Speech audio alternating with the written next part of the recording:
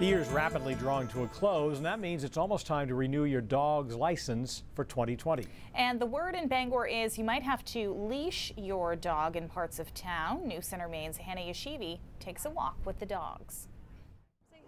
Like some humans, Peyton gets nervous around new faces.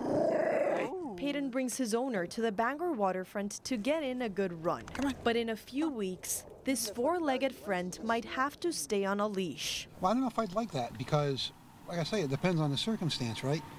If there's nobody around and the dog is fairly well behaved with its owners, I don't see any harm in it being off leash. I like my dog on a leash. That way, you know, I can control him. Because if there are other dogs in the area, he's a small dog.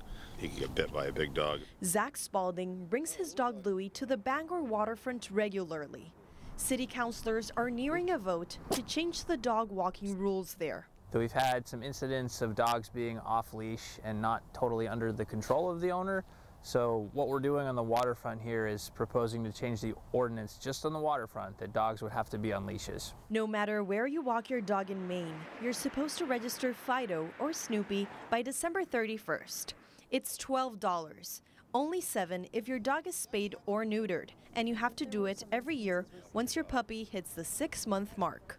That fee supports animal control officers, animal welfare law enforcement, rabies vaccination compliance, care for stray animals, and costs to return lost dogs to their owners.